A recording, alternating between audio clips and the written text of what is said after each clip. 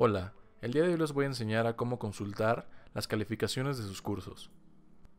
Dentro del curso vamos a la sección de evaluación, calificaciones y ahí se despliega el listado de calificaciones de todas tus actividades. En este caso nada más tenemos calificadas una, dos, tres calificaciones. Y eso es todo. Aquí puedes imprimirlo si quieres o consultarlo. Espero te haya servido este tutorial.